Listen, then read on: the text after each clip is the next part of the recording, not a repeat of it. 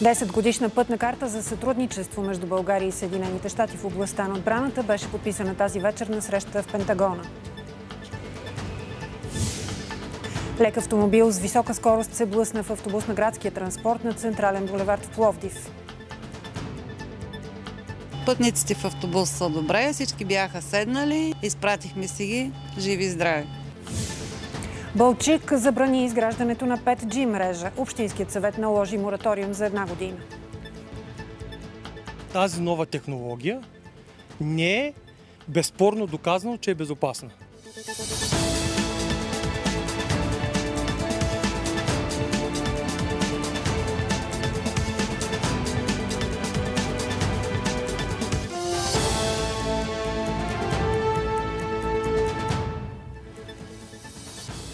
Вие сте с късните новини по света и у нас. Добър вечер. България и Съединените щати подписаха военна пътна карта 2020-2030. Това стана на среща между министра на отбраната Красимир Каракачанов и американския секретар по отбраната Марк Еспър в Пентагона в Вашингтон, която приключи преди минути. В рамките на програмата за чуждестранно военно финансиране на Държавния департамент се очаква България да получи 15,4 милиона долара за изграждане на критични способности на въоръжените сили, научи по света и у нас от свои дипломатически източници. С военна церемония и под звуците на химните на Съединените Американски щати и България започна срещата между вице-премьера Красимир Каракачанов и секретаря по отбраната Майк Еспър. Пътната карта 2020-2030 за сътрудничество в областта на отбраната очертава плановете за модернизация на армията ни и надгражда споразумението за сътрудничество с Америка от 2006 година. По линия на чуждестранната военна помощ се очаква България да получи от Съединените щати 15,4 милиона долара. С 8 милиона от тях би трябвало да бъде изграден център за киберзащита и да бъде финансиран също така съветник по киберзащита, който да подпомага Българското министерство на отбраната с прокарването на институционални реформи, необходими за защита на страната от киберзаплахи, научи по света и у нас от дипломатически източници. Очаква се още 810 хиляди щатски долара да бъдат заделени в подкрепа на обучението и оборудването на български вертолетни екипажи за подпомагане на антитерористични операции. Американското военно министерство се очаква да отпусне повече от 11 милиона долара в подкрепа на сигурността в Черно море, а 1 милион и 700 хиляди долара за различни видове обучения. През последните 6 месеца програмата за хуманитарна помощ на Европейското командване на Съединените щати е дарило тестови комплекти и друго оборудване на стойност близо 90 000 долара, за да помогне на България в борбата и с пандемията от COVID-19. А по програмата за хуманитарна помощ 400 000 долара в различни проекти у нас. Шест американски изтребители F-16 охраняват българското въздушно пространство съвместно със своите български колеги. След снощния дебат в Европейския парламент с основна тема България, в четвъртък трябва да бъде гласувана резолюция за ситуацията в страната ни. Тя обаче не се приема едностранно от БСП, въпреки че единият от инициаторите е Елена Йончева. Според Корнелия Нинова, резолюцията е вярна оценка за корумпираното управление на Борисов, но в нея има смущаващи препоръки България да ратифицира Истанбулската конвенция. Затова Нинова ще предложи на левите евродепутати да подкрепят текстовете за върховенство на закона, борба с корупцията и свобода, но да не подкрепят тези за Истанбулската конвенция. Във връзка с тях и с забранената у нас Омо и Линден Пирин, заместник външният министр Георг Георгиев заяви, че българската държава има добре известна официална позиция. Евродепутатите имаха право да внасят изменения до снощи. Утре те ще гласуват всички предложения по-отделно, а в четвъртък окончателно. Очаква се резолюцията да бъде подкрепена от по-голямата част от социалистите, либералите, крайната левица и зелените, а срещу нея да гласуват повечето евродепутати от ЕНП и европейските консерватори и реформисти. За 90-та поредна вечер граждани в София изразиха недоволството си срещу управлението на страната. Лошото време и дъждът не спряха протестиращите и те се събраха на своето традиционно място, площада пред президентството, за да поискат оставките на министър-председателя Бойко Борисов и главния прокурор Иван Гешев. Протестиращите заявиха, че продължават да издирват премиера, защото по думите им в последно време успяват да го видят само във Фейсбук. След традиционното шествие протестът приключи на Орлов мост. Кола се вряза в автобус от градския транспорт на Пловдив. Инцидентът стана около 20 часа пред киното на булевард 6 септември, като за дълго време движението в едното платно между булевард Руски и улица Трайчук и Танчев остана затворено. Колата се е врязала в задната част на рейса, който намалява скоростта заради сигнализация пред пешеходна пътека. Водачът на автомобил е откаран в болница. Никой от пътуващите в автобуса не е пострадал, разказаха шофьорът и кондукторката. Пътниците в автобус са добре, всички бяха седнали, няма проблеми. Изпратихме си ги, живи и здрави. Никой не пострада? Никой не е пострадал. Без подоходен критерий за детски надбавки, предложението е на социалния министр. Ако бъде прието, през следващата година всички семейства ще получават месечна помощ за отглеждане на деца до завършване на средно образование. По данни на националната статистика, децата до 18 години към края на миналата година са над 1 милион и 200 хиляди. До края на август тази година средномесечно са подпомогнати около 350 хиляди семейства с почти 549 хиляди деца. Това струвало на хазната над 187 милиона лева.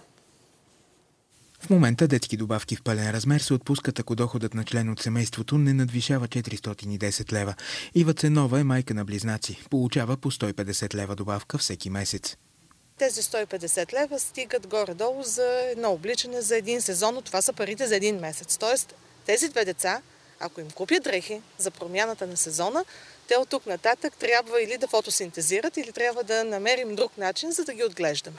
Тодорка Аврамска има дъщеря на 10 години. Получавала детски добавки до 2014 година. Защото надвишаваме с 10 лева а, определената сума за взимане на детски. От началото на тази година над 13 000 семейства не са одобрени за отпускане на детски добавки. Социалният министр предлага до година те да са за всички. Няма подоходен тест за детските добавки, т.е. всяко дете в България и неговите родители съответно да се чувстват подкрепени.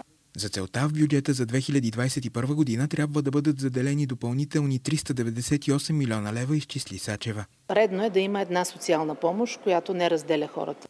Предложението на социалния министр раздели Тодорка и Ива. Всички деца са граждани на България и няма значение какви доходи взимат родителите им. Те имат право на тези пари. Ако доходите са достатъчно високи, за да можем да се издържаме децата с тях, детски надбавки няма да желая да получавам. Нека да има за децата, които нямат възможност. От Асоциация родители няма да се противопоставят на идеята на министър Сачева. Отново поставя родителите в зависимост от държавата, т.е. всички да получават един вид социална помощ. И освен това по никакъв начин не е обвързано с нуждите на семействата. Не се прави оценка на нуждите. От Асоциация родители искат да бъдат въведени данъчни облегчения за семейства с деца. Нова система за прием в детските градини в София предлагат от общината, за да прекратят злоупотребите с адресни регистрации. Освен промяна на точките за постоянен и настоящ адрес, най-вероятно ще бъде премахната и допълнителната точка, ако детето е посещавало самостоятелна ясла. Според голяма част от родителите, както и да се пренареждат критериите, това няма да реши основния проблем – недостигът на места. Проектът за наредба предвижда 4 точки за постоянен адрес, на който живееш повече от 3 години, 3 за настоящ и 2 точки за кандидатстване в района на градината. Така предимство ще имат родителите, които живеят в столицата от по-дълго. В идеалния случай с 6 точки ще се класират деца, които трайно живеят в района на градината. Според Людмила Стаменова от Комитета за качествена и иновативна образователна система обаче тези промени няма да подобрят ситуацията, защото броят на неприетите ще остане същият. Тоест, дали ще бъдат вътре едни деца деца или други деца, това корено няма да промени абсолютно нищо. А, дори самата уседналост, която е 3 плюс години за територията на София, реално повечето хора я имат, така или иначе. За точката от Ясла много спорно, аз съм против премахването и дори с а, гратисен период, понеже има райони, в които няма нито една самостоятелна ясла. През годините от столичната община на няколко пъти сменяха критериите за прием в детски ясли и градини. Колкото и да се пренареждат точките обаче, истината е, че все още няма места за всички деца, а оправданието на общината – бързите темпове, с които се разраства София. Националният статистически институт в момента посочва средно по 60 човека на ден, че се преселват от цяла България в София. Реално са много повече. Михайла Мирчева не е от новодошлите в София, но тъга гледа през прозореца детската градина, която тя като малка е посещавала. Нейният почти две годишен син обаче не успява да се класира за нея. както и за никоя друга. Решението – частна градина. А със сигурност ще се отрази на бюджета и то не малко. Разочарована съм вече втора година, понеже него за втора година не го приемат. Обещанието е проблемът да бъде решен до 3 години, а най-важното е строителството на новите детски заведения да не изостава, както до сега. В Манастирски вали изток мисля, че от 3-4 години се твърди, че ще се строи. Те това лято направиха първа копка. Според Людмила не е съвсем коректно от общината да обявяват над 3000 свободни места, защото голяма част от тях са за предучилищна възраст и за крайните райони. Към ситуацията с COVID-19, 283 са новите случаи на заразени с коронавирус у нас, при направени 3713 PCR тест. Това е значително повишение на процента на заразените, около 7,6 на 100 от общия брой изследвани. Процент над 7 не е регистриран от 3 август. Най-голям брой нови случаи има в София и Пловдив. 11 медици от различни здравни заведения в Пловдивска област с положителни тестове за коронавирус. Междувременно още двама учители от училището в село Скутаре са сред заразените и така преподавателите там стават шестима. Седем лекари, две медицински сестри, санитар и рехабилитатор от четири различни пловдивски здравни заведения са установени от днес с COVID-19. За момента от областния кризисен щаб подказват да назоват болниците.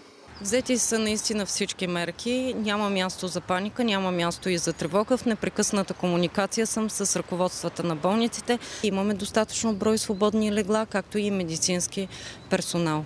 Три са новите случаи на коронавирус в училището в село Скотаре. Онлайн обучение в електронна среда сме започнали. Тествахме с всички и чакаме резултатите, просто и на другите да видим колегите, както и аз. По-голямата част от хората в селото са силно обезпокоени от ситуацията. До момента само 3 класа с 44 деца от общо 108 в училището са поставени под карантина. С многократен призив към американците да не се страхуват от коронавируса и с театрално махане на маската, Доналд Тръмп беше изписан от болница. Американският президент ще продължи лечението си в Белия дом, но информацията около здравословното му състояние остава противоречива. Самият той написа в Твитър, че не се е чувствал по-добре през изминалите 20 години. Лекари обаче са категорични, че още не е оздравял.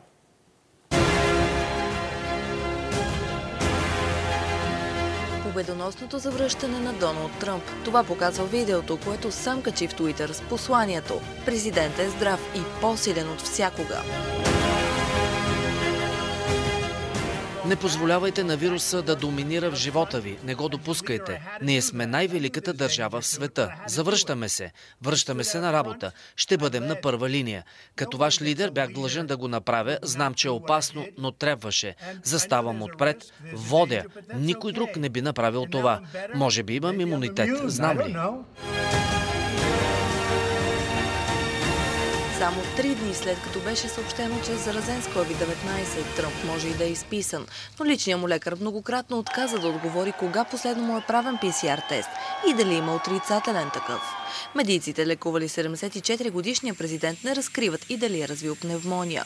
Каквито съмнения се появиха предвид силните лекарства, които са му давани. Според лекар от болницата, в която беше Тръмп, той все още е заразен. Пациентът спира да бъде заразен около 10 дни след първоначалните симптоми. Това въжи в случай, че няма температура. Очевидно той все още е заразен и ако смята да бъде около хора, трябва да постъпи отговорно и да носи маска. Продължават и критиките срещу близките контакти между Тръмп и екипа му, както вчера на разходката с автомобил, така и днес, когато той остана без маска в Белия дом. Той трябва да стои в изолация. Не мога да повярвам, че е изложил на риск екипа си. Понякога, когато пациентите получават такава висока доза стероиди, каквато той е получил, се стига до странични ефекти, замъгляващи преценката. Не си на себе си.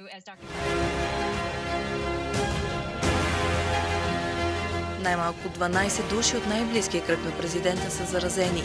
Вице-президента Майк Пенс не е сред тях, но въпреки това плексигласова преграда ще разделя него и кандидатката на демократите Камала Харис по време на утрешния им дебат. Ожесточения и протести в Киргистан срещу резултатите от парламентарните избори в неделя доведоха до отмяната им. Протестиращи штурмуваха сградите на президентството и парламент и други ключови здания. Ранени са близо 600 души. Президентът показа отстъпки, но опозиционните партии обявиха, че ще сменят властта. Днес парламентът назначи за нов премьер бивш депутат, когато демонстранти освободиха от затвора. Не е ясно дали президентът ще запази властта си. За последните 15 години двама негови предшественици бяха свалени с бунтове. У нас приключи обискът в офисите на обвиняемия Васил Бошков. Предметите, които имат белези на движими културни ценности, са иззети от музея. От прокуратурата съобщиха, че нерегистрирани са над 6000. Имат съмнение, че стоиността на законно притежаваните артефакти е умишлено занижена. Действията на прокуратурата по иземването на предмети от музея на обвиняемия Васил Бошков са започнали в края на януари с разрешение на специализирания наказателен съд. Първоначално са огледани и заснети всички помещения и намиращите се в тях предмети. От прокуратурата твърдят, че това е станало в присъствието на поемни лица и управителя на нова интернал. Намерените и иззети предмети, имащи белезите на движими културни ценности, са 6778 броя. Тук е мястото да напомня, че регистрираните от обвиняемия Бошков предмети като колекция са едва 212. Прокуратурата счита, че останалите 6566 броя предмети, намерени на улица Московска номер 43, се явяват незаконно придобити и държани от обвиняемия Бошков. От прокуратурата твърдят, че през цялото време действията им са били в присъствието на служители на Фундация Тракия, които единствени имали ключове от помещенията, в които е разположен музея. Присъствали са и опълномощени от Фундацията юристи. Съдебна експертиза от археолози с участието на екип от международни експерти ще установява происхода, историческата и културната стойност на всеки един от нерегистрираните предмети, които са открити от разследващите. Налични са данни, че културно-историческата оценка на регистрираните от обвиняемия Бошко 212 предмета е умишлено занижена. Същите са били оценени като движени паметници на културата, които не представляват национално богатство от прокуратурата и за тях ще назначат експертиза отново от международни експерти. Те ще трябва да изяснят актуалната стойност на тези предмети, както и да дадат културно-историческа оценка за тях. Ако се докаже тезата, че има умишлено занижаване на стойността и значението им, те ще бъдат обявени за публична държавна собственост. Във Фейсбук обвиняемият Васил Бошков коментира, че национализацията на колекцията му в полза на държавата би нарушило българските и международните закони. Елена Адинева, съпругата на Васил Бошков, може да излезе на свобода след като плати 1 милион лева парична гаранция. Това определи апелативният специализиран наказателен съд. Съдът се мотивира с имотното състояние на Динева. Освен у нас, тя притежавала скъпи имоти в чужбина. Доказано било още, че скъпи картини също са нейна собственост. По тази причина съдът не прие нейните и на защитата и аргументи, че запорите на имущество, дялове в фирми и банкови сметки са пречка за плащането на толкова висока гаранция. Какво е решението на госпожа Рина? Тя няма да няма въз, възможност, няма и желание да плаща. В края на престоя си в ареста, поне по това обвинение, няма намерение да, да плаща такава подобна гаранция. Няма и разумен довод да се определи такава голяма парична гаранция. Общинският съвет на Бълчик наложи мораториум върху изграждането на 5G мрежа на територията на морската община.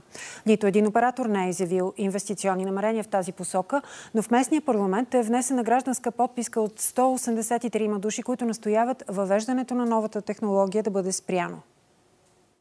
На последното заседание на Общинския съвет 11 от присъстващите 17 съветници гласуват забрана за разполагането, ползването, поддържането и развитието на електронните съобщителни клетъчни мрежи от пето поколение и съоръжения към същите за период от една година. Според основния защитник на мораториума, главната причина за налагането му е неизвестността. Тази нова технология не е безспорно доказано, че е безопасна.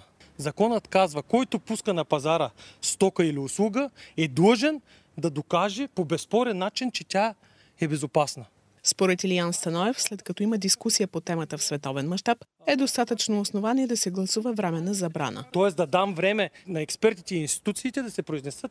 Част от съветниците са възприели предложението за мораториума като шега. Ако бяха си направили труда някои от моите колеги да почитат малко, щяха да разберат, че това е телекомуникационна услуга, която надгражда предходната 4G и на практика тя използва същите частоти и не е пагно върху здравето на хората. Утре могат да се появят хора, които да са против антибиотиците, против пестицидите, против и това слънцето, дето грее и то ни облъчва. Всъщност това е най-облъчващия ни обект в момента. Двамата споделят, че с мораториума се спъва развитието на града и те ще настояват това да бъде коригирано.